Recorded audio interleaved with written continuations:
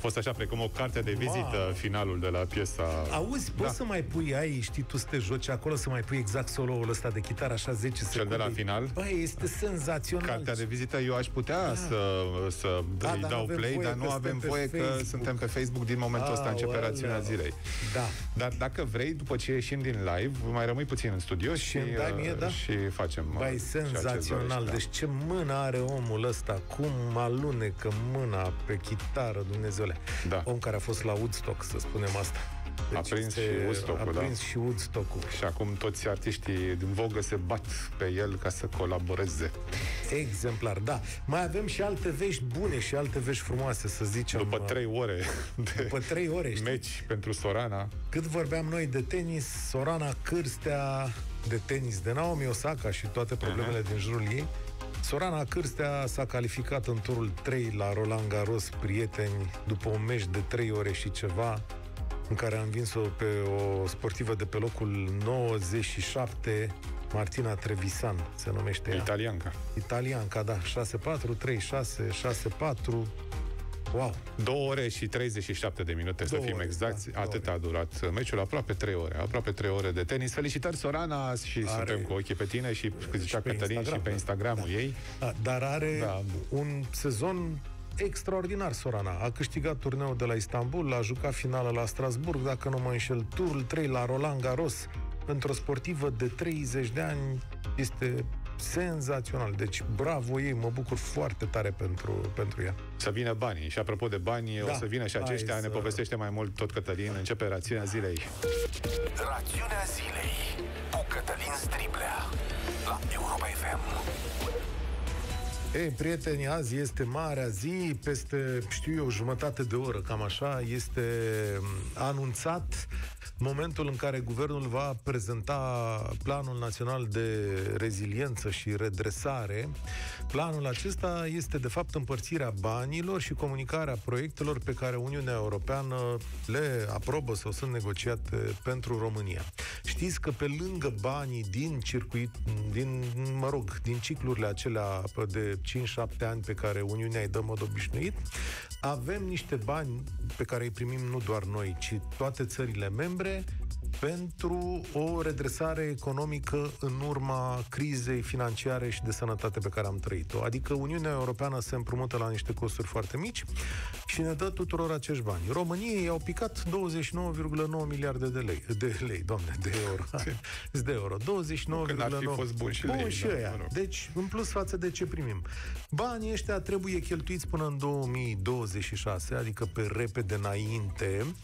Cum ar fi? Ce să vă zic, că România primește mai mulți bani decât Germania? Că primește un miliard de euro mai mult decât Germania, dar sigur mai puțin decât Italia, țara care este cel mai greu lovită de epidemie ca și țara care primește 200 de milioane de euro. Nu știu ce ar mai putea face Germania cu banii acum. Face, Dacă face. facem comparații Ger- de autostrăzi și de șosele, ei deja sunt în alt secol. fac autostradă digitală germanii. Deci Da. majoritatea banilor din Germania se vor duce către digitalizare.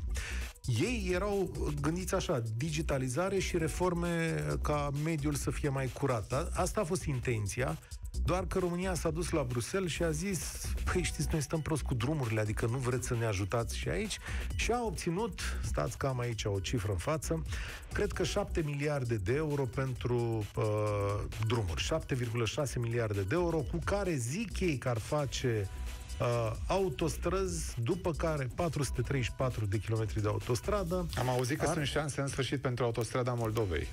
șanse de mici că banii ăștia nu ajung pentru cele două autostrăzi, hai să zicem că pentru una dintre ele, da.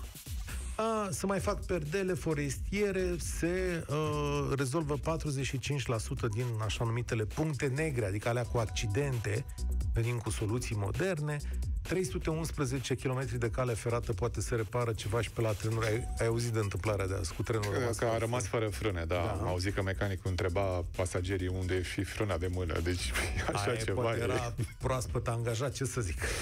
Uh, Doamne ferește să, să se ferească întâmple, Dumnezeu, dar și eu m-am gândit cu groază.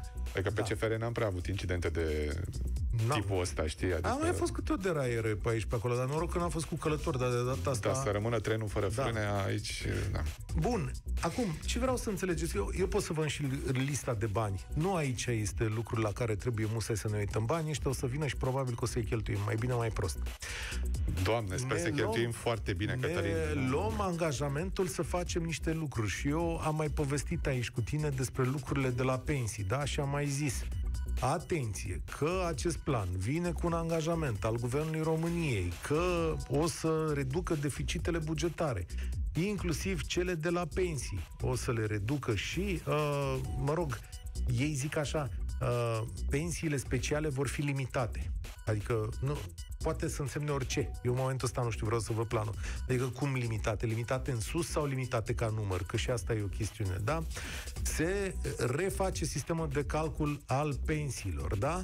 Dar, atenție, noi am vorbit săptămânile trecute și aveam informații că s-ar putea agrea și o înghețare a pensiilor, cum s-a și întâmplat anul ăsta, la nivelul ăsta în care a zis, domnule, și că ele n-au mai crescut cu indexarea, cu inflația, pentru că mă rog, suntem într-o situație de criză și nu se mai poate. Și aici va trebui să ne uităm, să vedem în ce măsură banii ăștia afectează creșterea pensiilor sau sporirea lor. Și doi la mână, lucruri pe care vorbim cel mai puțin, domnule, o să se întâmple ceva în sectorul de stat, pentru că ei vin cu niște chestiuni legate de digita- digitalizare. Și unul dintre lucrurile care trebuie redus este clar numărul de angajați sau nu, cheltuiala cu, cu salarii la stat. Asta poate însemna două lucruri. Ori că mai tai din salarii beneficii, ori că mai micșorezi numărul de acolo. Deci ăsta e unul dintre lucrurile care cu siguranță se va întâmpla. Cum o să procedeze guvernul, eu nu știu în momentul ăsta. Poate ceea ce vor prezenta la ora 4 va fi mai pe larg, dar sincer nu mă aștept să scrie acolo uh, Ce vrei tu să spui că banii Să ăștia au taie fost cumva salarii. condiționați de toate măsurile astea, da? da? Există o condiție mare de tot, care zice așa, aveți deficit bugetar nou, poate datorită creșterii economice, îl duceți până sub 7 anul ăsta, Mhm. dar noi am vrea ca până în anul 2026, dacă nu mai devreme, să reveniți la deficit bugetar sub 3 sau sub 4. Și Bun. atunci spune, cum faceți asta? Păi știți că la noi pensiile și salariile ne costă 95% din ce încasăm. A, păi mai tăiați de acolo. Păi de la pensii nu putem, că e lege. Și atunci și atunci, și asta vreau să văd și lumea vreau să înțeleagă, vreau să înțeleg și eu odată și poate și vorbim despre asta mâine, să vedem cum procedează cu sistemul de stat. Și aș vrea să, foarte, să fie foarte atent și la modul cum se cheltuiesc acești bani care vin de la Uniunea Europeană, pentru că te auzeam ceva mai devreme de perdere forestiere pe lângă autostrăzi, Da. TN-uri și alte chestii. Dacă iar o să dăm, nu știu, 10 milioane, 1000 de lei pe un puiet, da? S-ar putea să rămânem fără bani după Aici, prima uh, perdea forestieră pe care o facem. Tocmai știi? funcționează Adică- parchetul doamnei Chioveș. Adică în el îmi Ba- pun speranța. Și îmi pun Batistuțele speranța. la control. Apropo de aduna bani, atâta mai zic, 30 de secunde. Guvernul a hotărât, pregătește o hotărâre prin care să ia niște bani de la companiile de stat care au profit, să tragă de acolo niște bani spre buget și le-a zis așa, domnule, a zis domnul Câțu, știți ce făceau ăștia? Să duceau în excursii, domnule, trăgeau de bani, făceau tot felul de lucruri. Ok, domnul Câțu, dar când domnul Dragnea și cu domnul Vâlcov au făcut fix același lucru, luau banii de la companiile de uh, stat cu profit. Ce s-a mai țipat atunci la data respectivă? Asta ca să vedeți așa că politica e după cum Da. ești sau nu ești la putere. Cătălin, uh, mulțumim uh, pentru informații. Așteptăm să ieșim uh, și din uh, live-ul de pe Facebook, pentru că ia să ne face Mircea un uh, Dă-ne semn afară că din nu mai live. suntem live. Gata? Gata. Gata, putem ieși, da? Ok. Da. Ce, ai adus refrenul? Păi,